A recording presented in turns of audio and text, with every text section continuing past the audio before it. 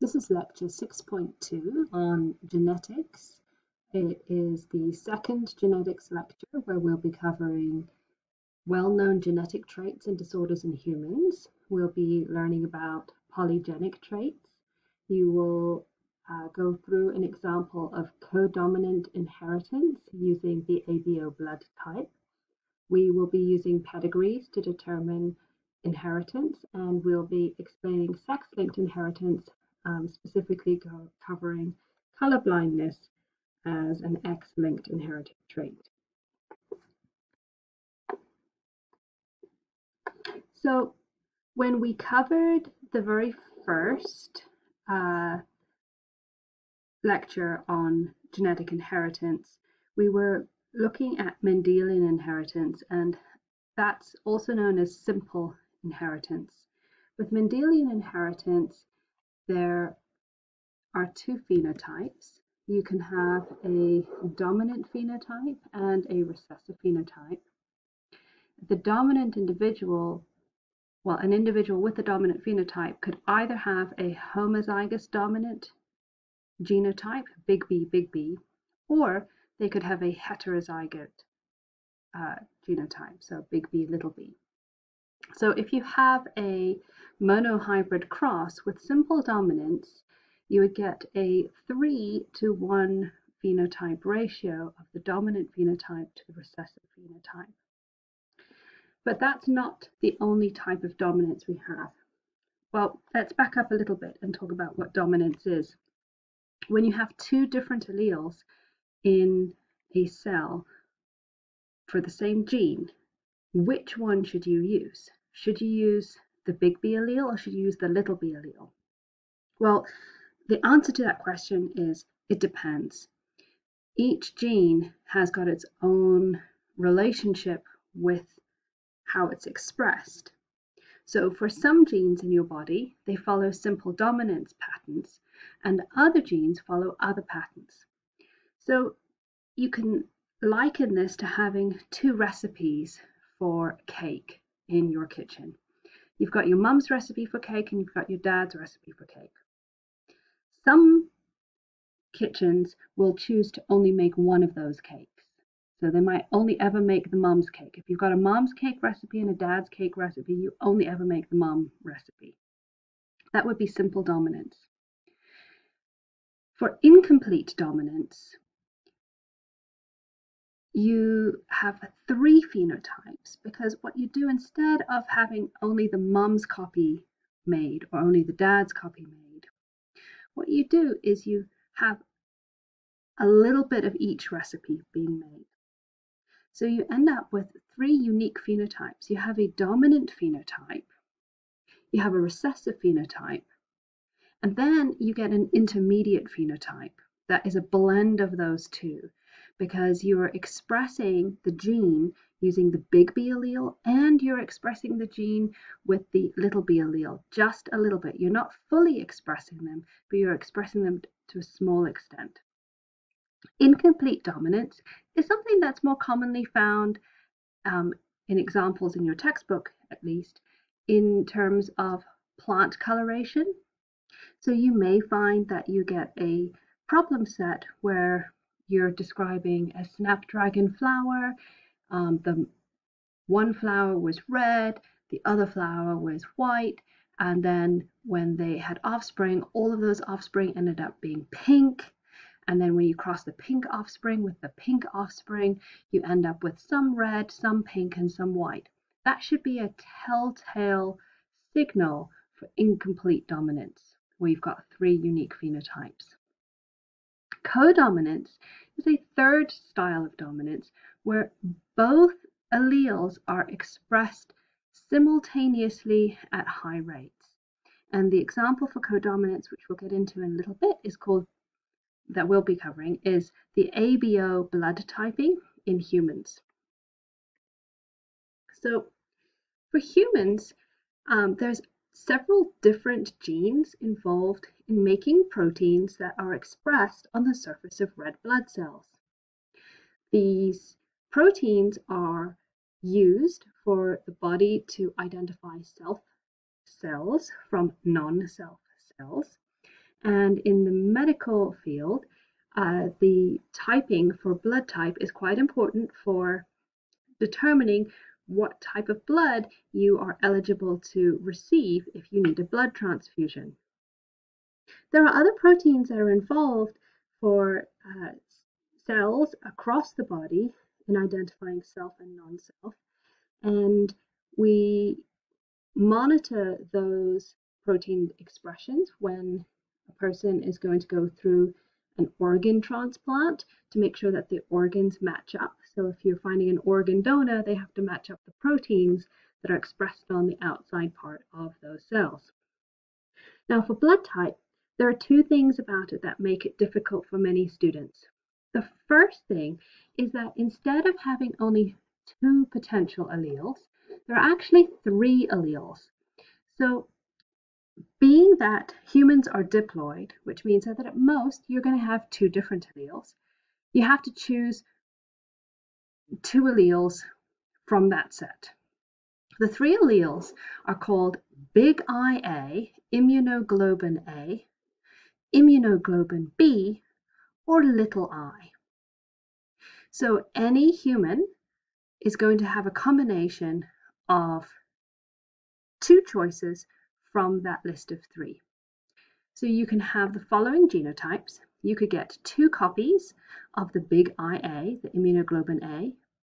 You could get one copy of immunoglobulin A and one copy of immunoglobulin B.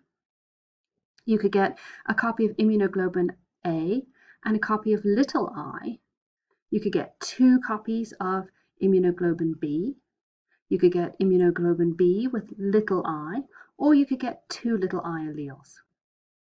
Now, the way in which this works is that immunoglobulin A produces an antigen or protein called A, and it expresses that protein on the surface of the cell. So in this picture here, this red blood cell has got these little purple lollipops sticking out the side. Those are representing the A type proteins. If a person has got the immunoglobulin B, they can produce the B protein, and that is expressed as these little squares on the outside of the cell. If a person has got both immunoglobulin A and immunoglobulin B alleles, they can actually make both types of immunoglobulin. They can make the A antigen and the B antigen. A person who has two copies of the little i allele makes nothing. They don't make any antigen on the surface of their red blood cells. The little i antigen is recessive to the immunoglobulin A and the immunoglobulin B. So when you have this heterozygous case of immunoglobulin A with a little i allele, that means that you can produce the A antigen. And your phenotype would be indistinguishable from somebody who was a homozygote for immunoglobulin A. If you have a heterozygous for immunoglobulin B, you're going to produce antigen B and you will look identical to an individual whose cells are expressing two copies.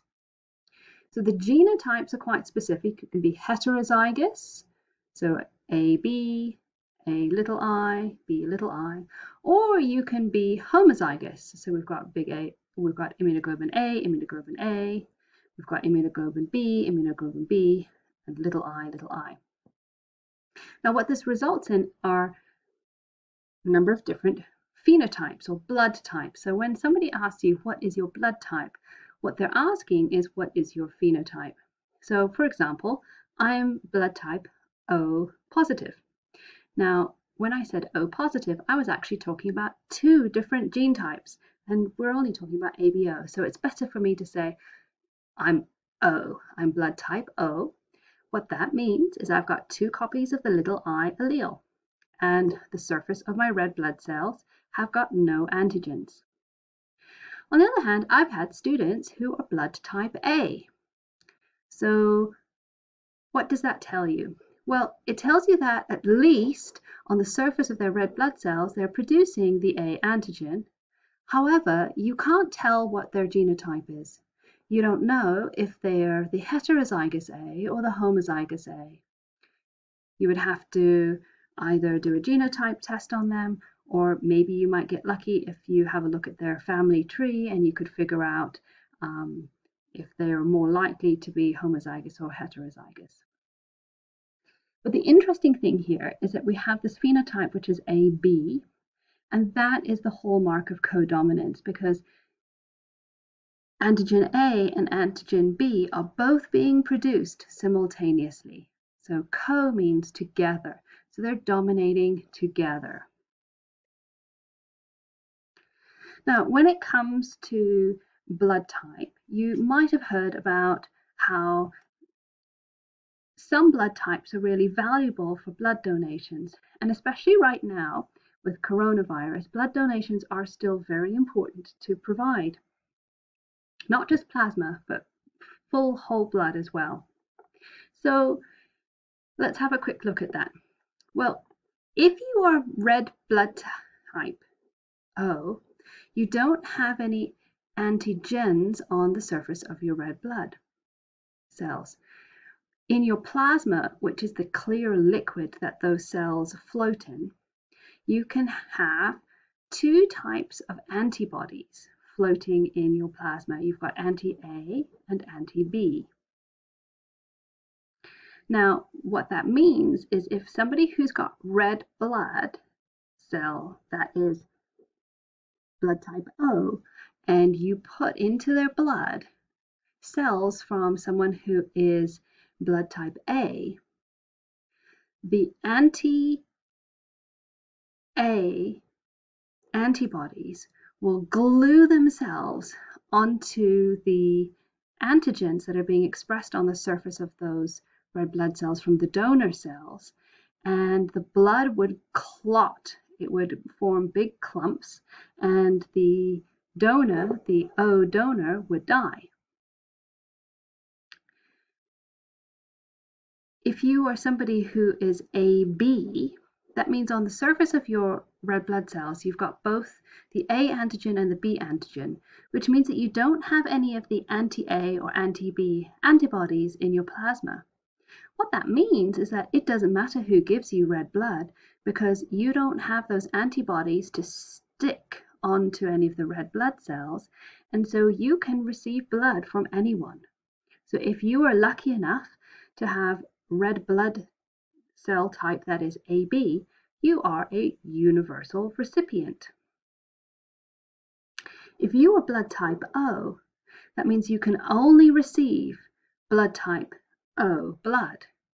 But what it also means is because your blood does not have any antigens on it, you can give blood to anybody. You can give it to an AB, well, they're the universal recipient, but you can also give it to somebody who's blood type B or blood type A. So blood type O is called the universal donor. Let me go back a couple of slides so I've got a bit of space. And what I wanted to show you is how to do a quick um, sketch of um, a Punnett square if you were trying to look at two people who are having offspring. So let's say, for instance, I'm going to have a kid, so I'm little i, little i. And let's say, for instance, I marry somebody, that's a really wonky Punnett square, I'm sorry. Um, let's say I'm going to marry someone whose blood type um, AB, okay? So you write immunoglobulin A and immunoglobulin B, that's the different sperm types. And so then you make the combination. So I could have a little, a big IA with my little i, IA with that little i. I can have blood type. I've got immunoglobulin B with my little i, and I can do immunoglobulin B with my little i. So if I was a blood type O person and I married someone who's blood type AB, my children would be 50% blood type A and 50% blood type B. So here's a fun one. If I'm blood type O and my husband is blood type AB and I have a baby who's blood type O, what does that tell you? it tells you that I've either had a sperm donor or I've had an extracurricular affair because the only way for somebody who's blood type O to have a child who's blood type O is to either have the partner be blood type O or the partner has to be one of these heterozygotes in order to be able to donate that little I allele along with one of my little I alleles. All right, let's go forward a little bit. Okay, now remember I said my blood type is blood type O negative. That negative part is referring to something called the rhesus factor. This is a different gene that contributes to blood typing. You can either be rhesus positive or rhesus negative, and I happen to be rhesus positive over here. Okay. Now, whoops. Let's go back a slide. Okay. Before I had my daughter, I could not tell you if I was homozygous dominant for my rhesus positive genotype or if I was a heterozygote. However, now I can tell you that I'm a heterozygote because my husband happens to be rhesus negative, which he that means that he's little d little d. And my kid is also negative, which means that the only way for her to be negative if he's negative and I'm positive is that I must have been a heterozygote. So it's fairly straightforward to create those Punnett squares. So I did that here for myself. So this is me, the heterozygote, and this is my partner. And here are the options. So my kid had a one in four chance of being uh, rhesus negative and well no actually look at that I made a mistake in this picture I'll have to update it so it should have been a 50-50 that should be like the test cross so we would have um, two of the offspring being rhesus positive and two of the offspring being rhesus negative. Now, as a public service, you should probably find out whether you're rhesus positive if you're, or you're rhesus negative. Um, because if you are a rhesus negative mother and you have a pregnancy, a rhesus positive fetus can exchange blood through the placenta, and that can trigger the mother, the rhesus negative mother, to make anti rhesus antibodies that can attack future Rh positive fetuses. Now, there is um, a medical treatment available for this problem um, because if you have um, a, uh, a an attack from rhesus antibodies on your fetus, it can kill it. But there's a special treatment called RhoGAM.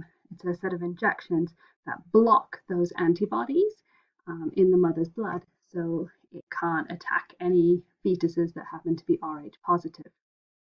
So because I'm Rh positive, that wasn't something that I ever had to consider. However, my kid being Rh negative might have to consider that. And that's something that you might consider too. And it's one of the reasons why, if you become pregnant, one of the first things a doctor will do is ask you uh, what blood type you have. All right, let's talk about polygenic inheritance. Many human traits, and in fact, many traits across the uh, um, whole swath of life, are polygenic. That means there are multiple genes that each contribute a little bit to a phenotype. Two really commonly uh, provided examples in biology are human skin color and human height. Both of them are determined by the additive effect of many genes working together. So, for example, if you have two moderately toned humans who have children, um, what you'll find is if they have many children, most of their children will also be moderately toned, but you may find that some of their children are particularly dark, much darker than either parent, or you might find that some children are much lighter than either parent. And what that's got to do with is if there were multiple genes, imagine gene A, B, and C, And for each gene, you could be dominant or recessive. Now imagine that each parent was heterozygote, heterozygous for each one of those genes. All the possible combinations of children. So this is not a dihybrid cross, this is now a trihybrid cross. What you could find is a small number of children could inherit the dominant allele for all three genes from parent one and the dominant allele for all three genes from parent number two, and thus have a maximum additive effect of skin pigment. Or you could likewise have children who inherit the recessive allele for each three of those genes from parent one and the recessive allele for each three of those genes from parent two and have uh, the minimum added effect. Height works the same way. If you have two tall parents, it's likely that your children will also be tall. If you have two medium parents, medium height parents, you may have some tall children and some short children. If you have very, very petite parents, it's likely that the children will also be quite petite. One way in which we evaluate genetics in humans is to use something called a pedigree analysis. It's very useful because you can trace uh, a trait from one generation to the next. It can allow you to determine if something is recessively inherited, dominantly inherited, or sex linked. The way in which we do this is we draw a picture of a family tree where males are represented by squares and females are represented by circles. An individual who's affected is um, shaded in completely, and an individual who carries a trait um, or is affected can be um, marked with a half shading. Generally, what we do is to represent a, a marriage and a mating is we put a horizontal line. The vertical lines indicate who um, descends from who. So in this case, we have a female and her male partner who have a daughter and then a son. This daughter had twins. One of those twins had the trait and one did not, and so on. So you could fairly easily construct a pedigree chart for your full siblings um, and your full relationships. It becomes difficult to do uh, pedigrees if your parents or yourself have multiple partners or children with multiple partners, because then you've got half siblings and step siblings and things like that. So a pedigree chart, you typically start with full siblings and then you can start to add on and uh, look at other variations to your family. So let's cover a few traits um, that are commonly found in humans. We have uh, single gene traits that are autosomal dominant. So what that means is that um, the homozygous dominant individual has the disease or trait, a heterozygous individual has the disease or trait, and an individual who's homozygous recessive does not have that disease or trait. And two very commonly found examples are polydactyly, which is having extra digits, and achondroplasia. Those are both autosomal dominant disorders. Um, the way in which you can tell by looking at a family tree that you've got an autosomal dominant trait is that you find the trait in every single generation. So each row is going to have individuals with it. Notice that you have an approximately equal number of males and females being affected by that trait as well.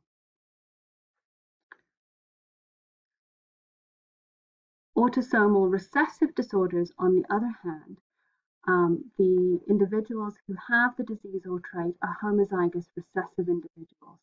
An individual who's got at least one copy of the dominant allele does not have the trait.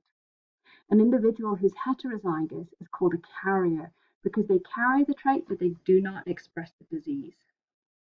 Two commonly known examples of this are albinism, in which the um, melanin pigment is shut off, so you don't produce uh, the dark melanin found in uh, skin or hair, um, and cystic fibrosis, which is a membrane transport disorder um, where there's the excess production of mucus in um, the digestive system and respiratory system. And with autosomal recessive disorders, is you can find it in some generations and it skips other generations. So this uh, table here summarizes some human disorders controlled by single genes. Um, and uh, these are autosomal disorders. So that means that the genes for these disorders are found on chromosomes number 1 through 22. Those are the autosomes. Disorders that are carried on sex chromosomes are inherited differently, and that's where we'll have to get into sex linkage in just a second. But um, what you'll notice here is the incidence of these disorders is quite variable, and some groups of of people have higher rates of these disorders than others. Um, recessive disorders, albinism, cystic fibrosis, galactosemia, PKU, sickle cell disease, and Tay-Sachs. Now, what you'll notice is that in uh, certain groups of individuals, you have higher rates of things. So, for example, Tay-Sachs disease has a higher rate in uh, individuals from um, Ashkenazi Jewish heritage um, than people who are from Africa or Asia, for example. Dominant disorders include one of the types of Alzheimer's, Huntington's disease, hypercholesterolemia, which is high cholesterol, um, and you can have a look at the rates of those incidences. So, sex determination in humans. We have discussed this before in one of our previous lectures, but we can recap it real quickly. So, there are 22 pairs of chromosomes called autosomes, and both males and females have those. They are the genes of the body. One pair of chromosomes is called the sex chromosomes. Um, all humans have to have an X chromosome because it has some genes that are required for both males and females. The Y chromosome confers maleness, and um, men are XY, women are XX. And when I say men and women, I'm talking about chromosomal men and chromosomal women. Sex-linked disorders are genetic disorders where a broken gene is on a sex chromosome. And what you would need to do is you'd need to make your Punnett square like this one, where you've got the female up on the top here. So here's egg number one with an X chromosome, and here's egg number two. And then the male can make sperm that have X sperm or Y sperm. As it turns out, males uh, determine the sex of their offspring. If your um, offspring is a female, it's because the male provided an X chromosome. And if your offspring is male, it's because they provided a Y uh, chromosome in the sperm. Color blindness is a well-studied X-linked human disorder.